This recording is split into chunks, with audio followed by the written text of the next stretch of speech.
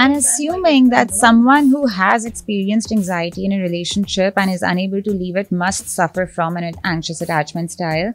I mean, the same person can feel incredibly anxious in one relationship, feel incredibly secure in another. So, boundaries were meant to help people figure out how they could feel safe in a relationship uh, in any kind of exchange with other people where they could have their own needs and concerns attended to while also making room for the other person's like can i please tell you this morning i opened my social media one of the platforms that Oh, i'm one of the now? many platforms that i'm on opened it and there's all these posts popping up and i'm just scrolling through and there was a post that said um, you know psychologists now say that if you watch true crime, you're actually depressed. It's a sign of depression. And I'm like, but there was a post literally a week ago where psychologists were telling me, no, true crime watcher, you you are healthy, you are a great person, and you, you know, you you've got it all together. And I'm just like, who are these psychologists? and who who are these Who are these people? And why are they generalizing everything? And what's going on? I think this is a fantastic conversation because I'm not I have fallen guilty to this myself. The constant self-diagnosing from TikTok and Instagram psychologists or whatever people are posting like like you said true crime is apparently a sign of something. The temperature of your shower is a sign of something. What side you put your part on is a sign of I have so many things I do I have, and then I do diagnose myself, and I'm like, all right, we finally figured it out why I'm such a weirdo. Today, we're going to talk about social media and the oversimplification of psychology. And for that specifically, we have with us our resident, because I'm now making you our resident therapy expert who comes and gives us group therapy. Yeah. Anum, I'm doing all right. Thanks for coming back. Uh, thanks for having me. Good. You, you are very welcome. uh, so this is a conversation we are very excited to have, um, but we also know it can be. It's a complex conversation. Yeah, yeah. It's a very complex, very sensitive. Do you want to tell us why it is a bit sensitive? Um, mostly because there are so many different opinions on this. There's so much noise around this. Uh, but yeah, once we get into Once that, we we, get kind into of it. we get into so our in general terms, okay, we see a lot of random words being thrown online. Uh, I've come across so many. Uh, um, uh, Sabah lives online, so she's definitely come across so many. I always say my house is, is Twitter. Literally. And if I, my dream is to literally be a recluse who has Wi-Fi, like that would be the dream. what are some terms that you've come across recently that uh, you're like hey stop encroaching on my you know literally on my career and my my industry you shouldn't be throwing these terms out just like that on Willy-nilly. yeah So, a couple of years ago, the terms narcissist, gaslighting, toxic, they started trending. Um, I think there were about like 3.8 billion hashtags every time you Billion kind of like B. looked up, yeah, Yeah. narcissist on TikTok and stuff. And triggered as well. There were just a lot of terms that suddenly made their way into like mainstream language with no real sort of understanding of the nuance and complex, like the complexity around these terms. They were thrown around to explain behaviors that basically just pe- that people didn't like. Yeah. Um, so, for example, triggered. Triggered was essentially triggers were something that arose in the understanding of PTSD and how that could kind of like bring back the trauma for people who had PTSD. Um, it was never meant to be a tactic for avoiding all difficult situations, anything that hurt someone. And eventually it kind of became like a way for people to avoid talking about things that were painful for them to look at or hear. It was just like, okay, this is triggering, I'm out. yeah Um, instead of acknowledging, like, okay, this is really painful for me to hear. I'm, I'm hurt, I'm scared, I feel rejected when I hear these things. Um, I'm gonna say I I uh, am ashamed to say this now that I'm sitting next to you and you're explaining all of this to me. Uh, that I have used the term willy nilly, as we say. I have thrown the term out there where I've listened to some song or whatever and I haven't liked it or whatever, and I'm like, oh, this is triggering me. Whereas now that you're speaking on this, I now I'm feeling really, really bad because I'm like, no, I didn't really think this through. yeah, because I jumped me on a feeling shame. I didn't. I never actually thought. I and normally, generally, when you go through life, there's terms that pop up that everyone then- Become part of the the lexicon. the of, main like, str- pop culture absolutely whatever, where yeah. pop culture exactly Yeah. so you there'll be things that like one somebody comes back and starts saying and then all the other friends will start saying it and it just become a thing and we don't realize the impact it has there could be a fourth person in the room who actually it gets traumatized from that term but we hmm. we don't think of these things Trauma was another one, right? Hmm. There's just been this ongoing debate online about what actually constitutes trauma. right And yes, it's not fair to tell someone that something that has genuinely disturbed them isn't traumatic. But at the same time, it can also undermine other people's experience who have gone through really, really horrific things. absolutely So, where do you draw that line? Well, also, um, I mean, I feel kind of silly for saying this, but I didn't really make the connection. Now that you've said it, obviously it makes sense that trigger came from PTSD. Mm. I also think PTSD is quite flippantly thrown around Yes. um, quite a bit because actually it is horrific if you're going through it and stuff. A big one that you've already mentioned that I've seen is narcissist. And I feel like there I once read something like this whole breakdown of this woman Reddit. Uh, Reddit's another one that I'm very late to the game, but like Reddit psychology will also grab you in. Um, and she, this person was talking about their partner and their narcissism and all these things. And I'm reading it and I'm looking at my sister and reading it and I'm like, am I a narcissist? Like, am I a narcissistic, abusive partner towards you? So then I was like on the internet frantically trying to figure it out, called two of my friends who work in medical field and I'm like, guys, like, I think I'm a, turns out I'm not, no. know? which is And- irresponsible Yeah. Yeah, it's irresponsible, but also we've pathologized narcissism. That doesn't understand that it's actually a very prevalent social phenomenon. Like every single person has some degree of narcissistic tendencies. Thank goodness. Yes. see, see, it's not just me. and that doesn't mean that we don't look at it, we don't call it out. But doing so in a social context is important then, instead of just like looking at it, looking at every individual as, oh my God, this is also a narcissist and this is also a narcissist. And now I must therefore distance myself because there's like too many red flags. Yeah. It, it dehumanizes a lot of people. And it's a very compelling idea to kind of like think of someone who has shown, who has caused harm, who has very little regard for other people's experience and feelings to call them a narcissist because it's kind of validating of your own experience. But just the sheer prevalence of it kind of calls into question the idea of creating this separate category of people instead of looking at this as a facet of human nature. Well, actually, I think that's a great segue because you said as car- creating a separate facet of people. We've actually, I believe, in this boom of social media, created a separate language altogether. And Yeah. one of the languages that they have kind of pulled from is, of course, therapy, Therapy speak. Hmm. Could you explain what therapy speak for me and everyone else out there that doesn't hmm. know what it what in simple terms? Therapy speak was, I mean, it was initially terms that were used to help clients make sense of different experiences. So, for example, the term gaslighting, when it was first introduced, it was to help people come to terms with the idea that this is something people can do. Yeah. Because otherwise, they'd be left questioning their own kind of experience, their own um, sense of reality. And just to add, because gaslighting is a form of like covert abuse, Yes. right?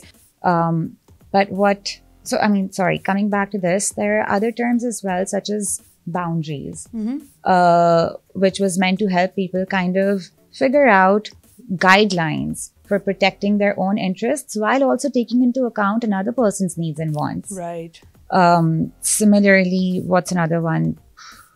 There's gaslighting, there's, uh, what did I just say? Toxic. Boundaries. There's Boundaries. toxic, there's boundaries. Then there were actual diagnoses of like ADHD and helping people understand where, you know, like how their behaviors could be explained through the lens of that. What ended up happening was these things made their way to Instagram, which started off with good intentions because there were, especially during COVID, a bunch of mental health practitioners decided to make this information more accessible to people who mm-hmm. didn't normally like, generally have access to therapy. What it very quickly kind of turned into was people taking on these terms without any understanding of the nuance behind them, of the, sort of that contextual understanding, and using them in everyday language. Yeah. Using that to make sense of everything that happened. Absolutely. Yeah. Yeah. Oh, the it's raining today, so I'm Triggered. triggered or Yeah. And depressed yeah. or you Yeah. know throwing terms out like Yeah. just like that. Um, and so attachment styles. That's another one. Yeah. Avoidant and anxious. It's been used to understand everything without actually like distinguishing between different circumstances that lead to those. And also, I took that. that test, right? Because I'm constantly trying to figure out why I'm not married and retired as yet. And I took that test, and like, it, it there's no nuance. It was so generalized. And trust me, I took it on many websites because I was like, what is my attachment style? And it was like, none of this really applies to me. And I also think you, when you said it earlier, dehumanizing. Like mm. there are humans that you were talking about, and you you cannot copy paste and apply everything to everyone. Just Yeah. like just because the commonality is, let's say if we're talking about relationships, you're dating me. It doesn't mm-hmm. mean that it's always going to be the same. Yeah. Just because that's there. Does that And make sense? Like, assuming that annoys me. someone who has experienced anxiety in a relationship and is unable to leave it must suffer from an anxious attachment style. I mean, the same person can feel incredibly anxious in one relationship, feel incredibly secure in another. Which is what how you know. happens. Yeah. Which is, yeah. You're like Which is- good one. Yeah. this one make, I'm normal. I don't feel insane with this Yeah. one. Yeah. Um, I wanted to bring it back to boundaries. Hmm. Okay, it's because I believe I have misunderstood what it means. I Hmm. think a lot of people don't understand what exactly a boundary is. Hmm. Could we get into that a little bit? Sure. And then we're going to talk about Jonah Hill and boundaries. which I'm so excited about. I love talking about celebrity gossip that's 12 months old, you know?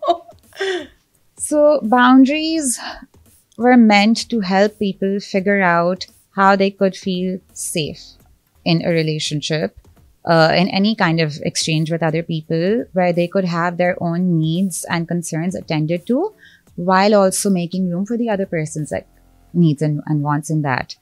What a lot of people ended up doing was ignoring the second piece of that puzzle. And so it became all about, well, this is how I operate. These are my boundaries. You cannot cross those. Boundaries are not meant to be these like rigid uh, things that are, are purely one sided. They're meant to be porous. Of course, they're going to be pushed from time to time. Yeah. Uh, let's take an example of someone who, say, cancels plans last minute. And so I was like, okay, but I'm sorry, I'm like looking after myself right now. Don't, don't question me on that. Another one is people who take space. So space in conflict is such a, it seems like such a valid thing to ask for. And this one really, really bothers me because it's been weaponized quite a bit. If the need for space comes up in every conflict, okay, fine. It's troubling for someone to kind of have someone confronting them with things. And they might need to take time to regulate themselves, uh, to regulate their emotional states. But does that mean that you're actually just like taking what's what you need, or are you also running away from what's a difficult conversation to have? So I actually seen couples counseling told her that like it's my sister told her that you know I appreciate that you don't like confrontation and mm. that you need a little space, mm. gather yourself, figure out how you want to talk. Mm.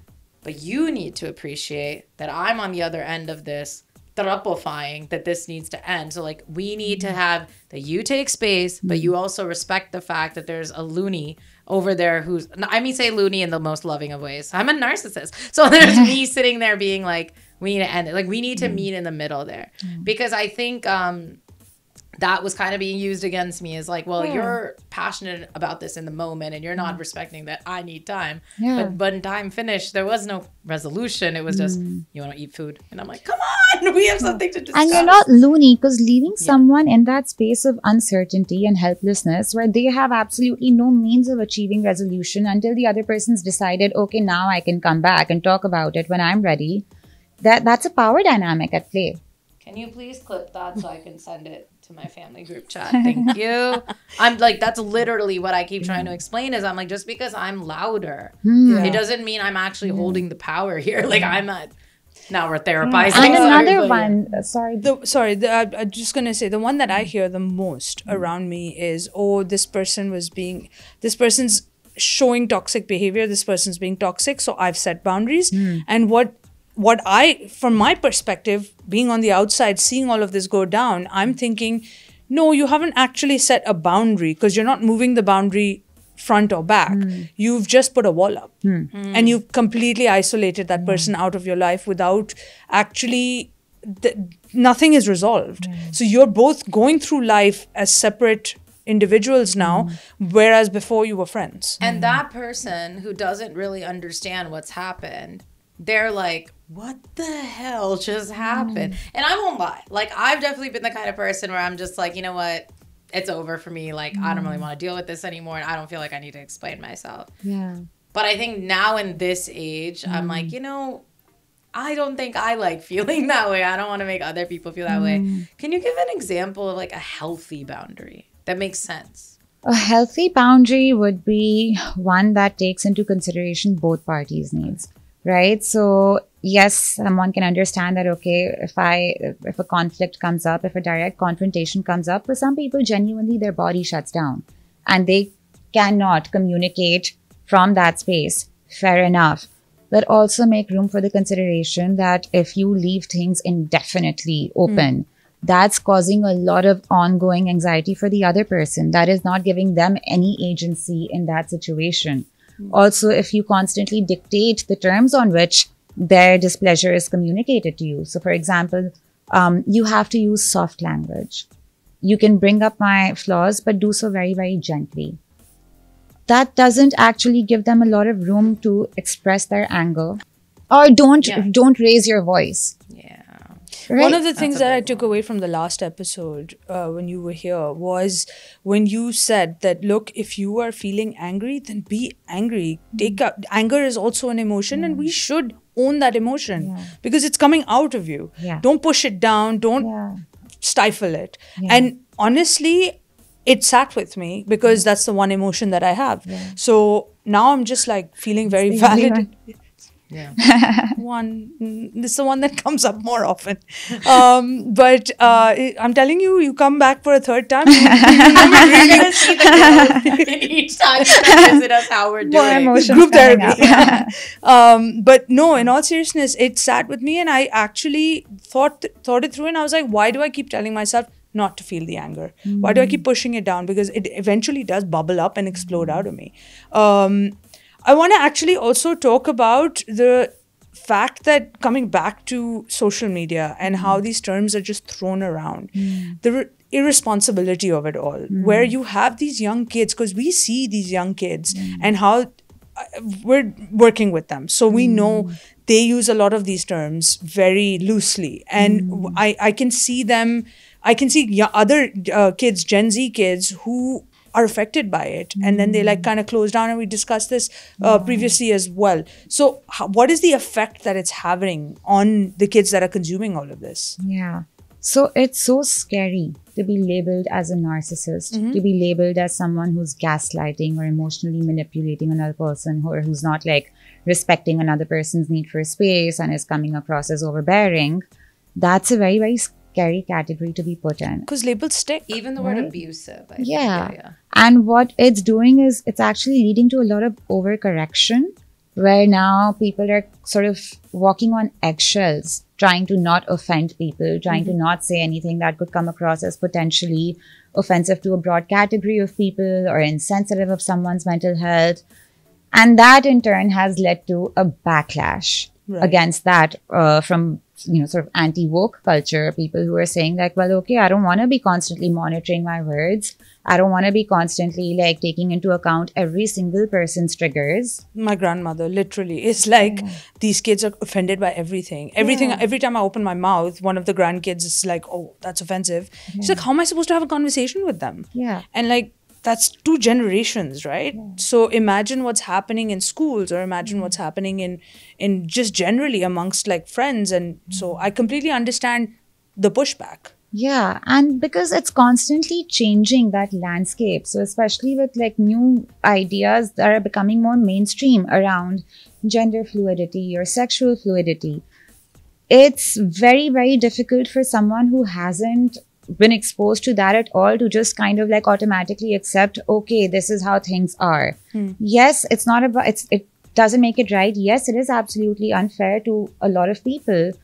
However, it doesn't leave room for people to learn from those mistakes if they are constantly scared of getting cancelled Yeah, You or know, shut out um, for having said the wrong thing. absolutely. When I was um, uh, in Aurat March, one of the phrases, um, um, "Mera jism meri marzi," which means "my body, my choice." It's literally just about autonomy, relax. I, me saying this in a sleeveless, I can't even wait to see the comments.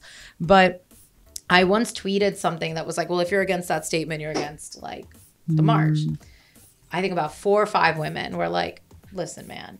My mom is at that march every single year, and she has been part of organizing in this country for women's rights since mm. before you could even think about women's rights. Mm. You don't get to say that. Like, Yeah. they have a reason that they feel this way. And, like, if you're not going to be in, you know, and honestly, like, but it was actually quite a learning experience. Haranguing them. Stop shaming people Yeah. for having had the wrong views. I mean, I grew up with so many politically incorrect views. Yeah. Now looking I back, don't like think any Pakistani I was so I was incredibly stupid and ignorant about a lot of things. Yeah. But had I not had the room to learn from people who are actually willing to engage and educate me, I think that's what's more important that no one's having conversations anymore. Yeah. They just shut it down before you can even have that conversation. Like let kids be curious and find out things on their own by asking the questions.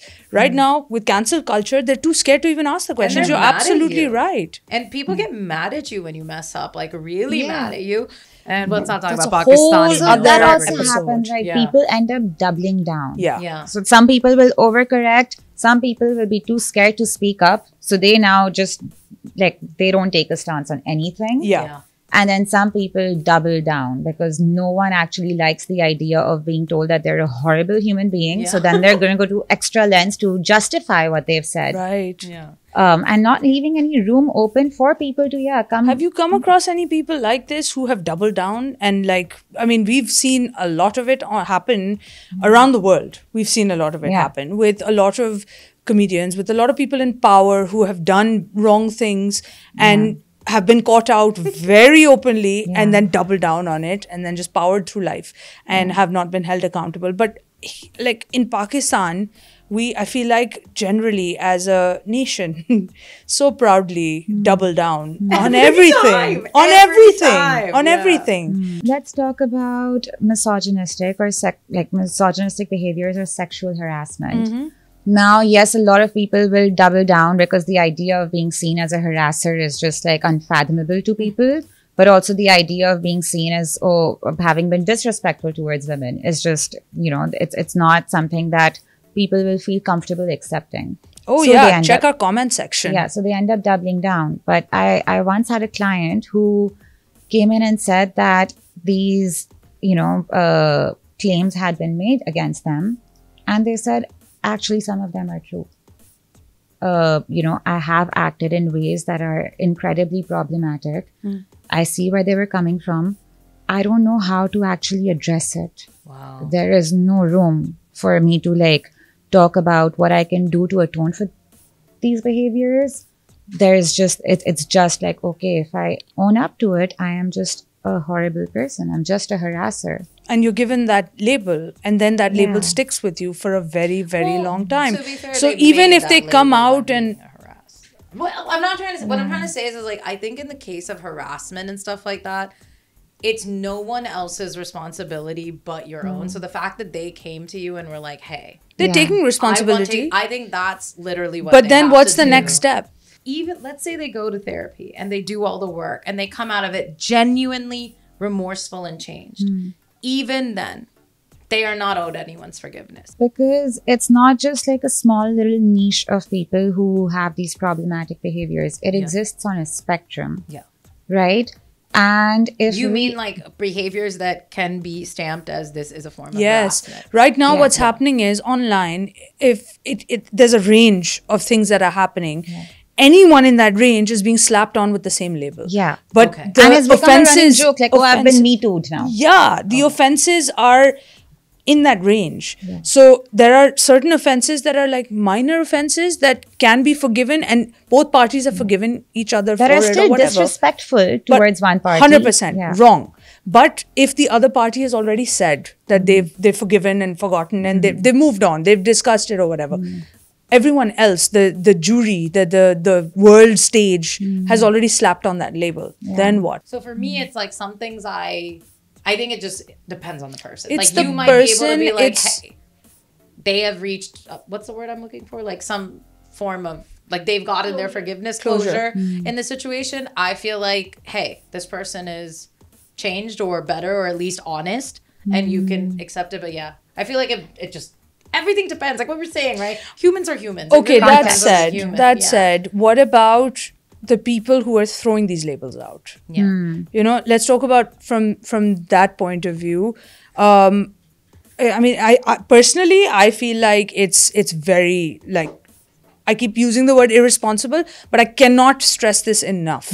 You cannot just throw these words around uh, because this uh, social media, it, it's like there's an entire, it's a whole other universe, and mm. it's, it's like society with a magnifying glass multiplied by 10. Mm. So, if, for example, there are kids out there that are using these words, what would you say to them?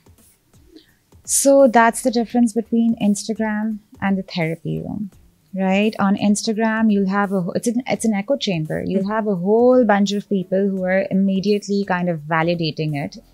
There's a term called idiot compassion that I just spoke of We- earlier. Yes, please can we talk Right. about that? I, I heard the term and I was just like, that's such an unfortunate name for a term to be used. But but it's automatically offering compassion based on like these sort of one or two kind of headlines without actually going into context. Mm-hmm. In the therapy room, there is wise compassion where there is actual pushback, where there is an exploration of the client's own role in whatever happened. right. And it's usually not black or white. Um, Can we give examples just for people to understand? Because like Idi- today's the first time I've what heard i- yeah of what Yeah. idiot compassion essentially where did the term come from or what what is it exactly I just discovered it today.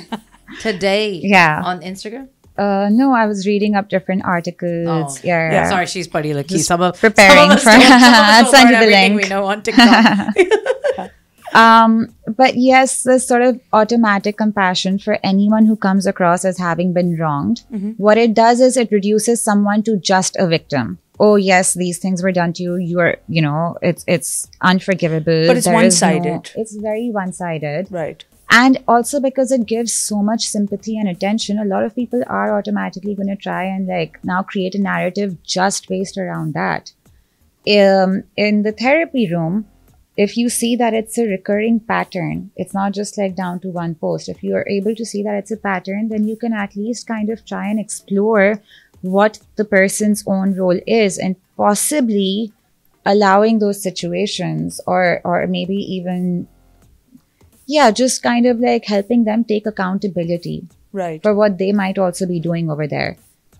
Not victim blaming but not reducing someone to just a victim to the extent that it takes away all agency yeah, even for someone who is uh, a genuine victim, there are also a lot more things. Right. A victim does not necessarily equate a perfect person who has only taken things. Um, an example of this was a long time ago, a client who was undergoing domestic abuse and uh, domestic violence, and and so there was this, you know, like the kind of compassion and and sort of almost guilt and not being able to fully uh, understand what that experience was like. It was just like, okay, like this person's just going through something so horrific. Uh, and then she would talk about how her relationship with her kids was also fractured because of this. And then a few sessions in, she talks about how she would also be violent towards her kids. And that kind of like flipped the switch on, okay, well, there is a certain level of abuse that she is also inflicting. Right. And so you cannot bring a victim down to just a victim. You can then- hold compassion for what they're going through and at the same time still hold them accountable for what they are now doing to other people. and then you explore it further in the Yeah. therapy room as to why she is reacting that way also Yeah. without the outside environment and Yeah, Wow, but okay. what a lot of people do is they just kind of end up saying, well, you know, they're going through so much. What can you do? How can you blame them? They've gone through so much. right Does that take away all accountability? But when you are awful Hmm. to other people or hurting other people or you're exhibiting that kind of bad behavior, I'm sorry. I don't care if your mom didn't hug you enough. Like, you don't get to be Yeah. this awful human being to someone just because they're within your grasp and, they were vulnerable enough with you that you were able to do that. So people use the Absolutely term avoidant Yeah. to get away with all kinds of like uh, emotional neglect towards other people. And they say, yeah, it's because of like, I went through this, this, this in childhood. Okay, are you giving up on all responsibility for your actions then? It's There's no free will whatsoever, then One of the human most beings popular- are complex creatures Yeah. there's so many layers we forget about that Literally. we always just reduce them to just one layer yeah. and then slap a label on them like they're some product in the grocery store and then send them along mm. and what they forget is that there's so much more that's happening Even One this the most- assumption. Oh no, sorry. I was gonna say one of the mm. most popular like meme formats mm. is really big in Pakistan, but I think in South Asia in general, is it's like, oh no, he's cheating on me because his middle school girlfriend broke up with him after Yeah. three days and started dating his friend. I'm not joking when I've actually heard a grown man say to me that when he was 12, his girlfriend in sixth grade like dumped him and started dating his friend, and like that's why he has a really hard time with commitment. Hmm. And I was like, you are 43 like are you out of your mind like what the what no but if they you? come to Anum then Yeah. they'll sit down and she will explore with them why what are the other things that led to it? Which is something that people online don't understand. And there's this assumption that a lot of people parrot now, which is hurt people hurt people. Yeah. So if you're going around causing harm, it does come from a place of having gone through harm yourself. And that's what leads to a lack of Like, sometimes empathy. you're just a jerk Like, yeah. No, but such an important thing that you brought up, where people online, uh, if someone is being mean to someone, Hmm. other people will jump on the bandwagon, start being mean to that person. You're doing the same thing. yeah. You essentially, there's no conversation happening. It's just But it doesn't. fired. What, where is the science to actually say yes? Everyone who hurts another person is coming from a place of having been hurt themselves. What human being hasn't experienced hurt? So it, it's not like a natural sort of consequence of having been hurt that you will now go around mm-hmm. causing the same kind of pain. the tropes right from like i Yeah. feel like a lot of times in like western television shows where it'll be like the bully actually has a violent or awful home life which of course there's sympathy there but then you came to school and like beat the shit out of my nephew so i'm like hmm. i'm a little confused what, my nephew has to do with your problems so and sometimes i have to say like look, maybe this is a stretch. Please feel free to edit this out. But when we're looking literally like Israel Palestine right hmm. now, so many people are going to bring up generational trauma, this and that. That's why this is going on. There is no justification at all for right for what we're witnessing. And you might think that's an extreme thing, but I have seen this being used as justification. but not just not a justification where is the science to actually back up that what they are doing is because of what their ancestors went through Yeah. how do you know that these are not just actual facets of human nature greed what- violence the need to conquer the, Yeah, that's why I don't like like when there's an act of violence against women.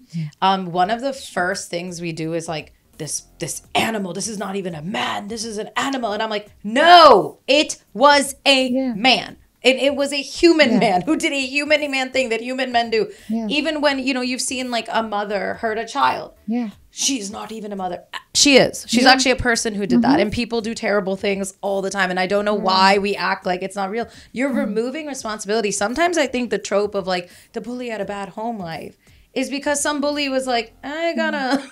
And I it's- gotta clean up my it's image a little bit difficult over to here." digest the idea that no this is just this is human nature Yeah, you're just at just its getting core there's a lot of being a- darkness and like not giving into that is an active choice Yeah. We're co- coming full circle to the true crime. Yeah. I'm telling you. we're coming full circle in this episode and we're ending on this exact same note where people who watch true crime I feel like I have a deeper understanding of human beings because I watch so much true crime. Hmm. And because I also am watching it from an outsider's perspective where I'm like, I want to know why this person did all of this. Hmm. Th- There must have been more factors other than just the fact that he was abused as a child. There has to be hmm. more. Would you consider Yes, human beings are not are very complex and I love watching just how complex they Would you consider this kind of part of therapy speak? Like just the fact of like I want to understand people and stuff like that or no? Is that a different thing? If everyone is taking psychology, they aren't all turning into psychologists. No, no, not that. The I don't think difference right now, what's happening online is that everyone thinks they're a psychologist because they took a test. Actually, that was or really they, well said. or or they filled in some kind of mm. form and they're like self-diagnosing each other or or their their, their friends or we've all done it. We're not. I'm doing exactly what I should not be. Yeah. What I'm saying that should not be So. I'll speak not as an expert. I'll give you my personal opinion, which is I don't necessarily believe, uh, I don't buy into this idea that anyone who is out there causing harm is necessarily coming from a place of having been hurt themselves, is always coming from a place of, you know, it was so much trauma. You know that movie, The Joker? yeah. It was so difficult to watch because the what they show is like over times it, life circumstances break someone down. And it mm-hmm. almost suggests that there is no free will. There comes a point at which someone can no longer function and and they don't sort of have the capacity to make the right choices anymore. Just given the sheer prevalence of people out there causing harm i don't think I It's- remember when Joker came out, so much discourse where it was like, this is just an excuse for white male rage. And honestly, when you look at the West just this week in the US, they've had mm-hmm. more school shootings that it's Yeah. impossible to understand. They break that world mm-hmm. record constantly, right? Mm-hmm. And quite often the shooter is what? Like an angry white man. And I think they've literally built into pop culture like, well, you know, when you sh- you b- break it down a man enough. Another thing we're seeing, right, that is directly correlated, the male loneliness epidemic or mm. endemic or whatever the hell they're calling it now. Where what are how would that epidemic be fil- fixed, right? Mm.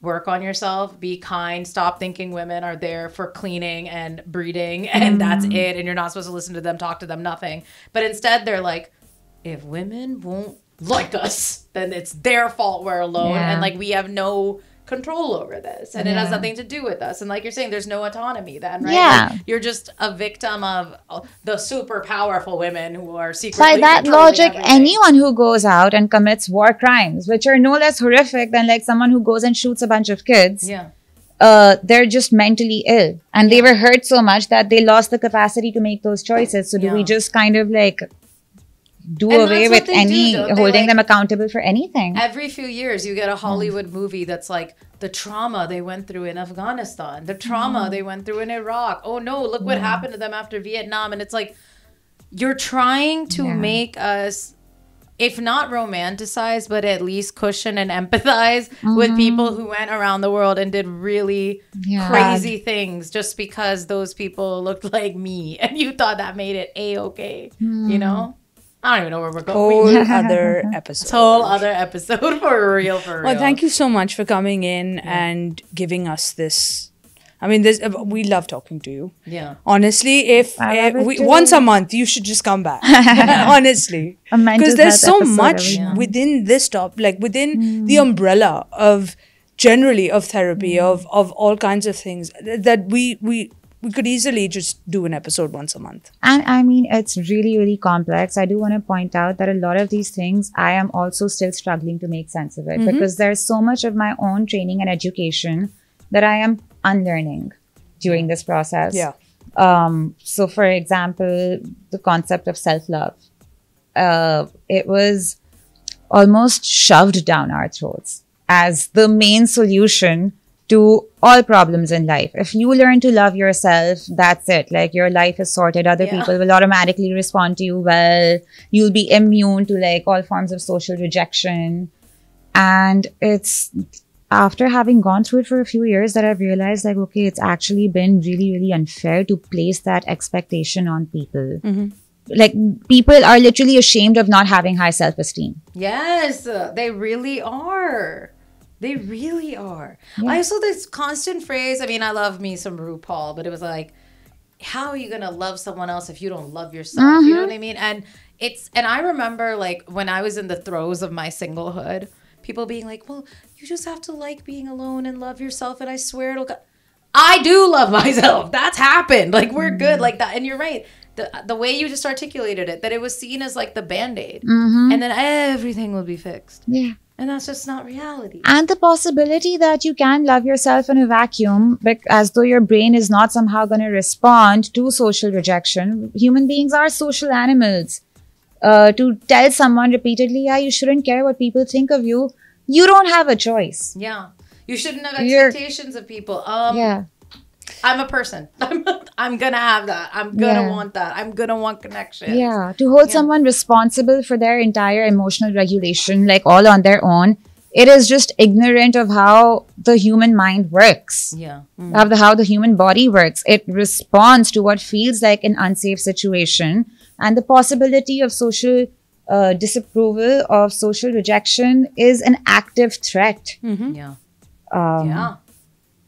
Self love is a whole other topic, Mm. and uh, you're coming back Thank you so much for Thank you. coming back, Anum. Thank and you we're gonna for having back. me. for This teaching great. us, for teaching them out Yeah. there what uh, Mm. it it means to be careful with what your wo- with with your words, Yeah. especially when you just toss them out like that. Yeah. People need to think about it. So And thank, you so much. also for like letting me have the space to rant about all of this.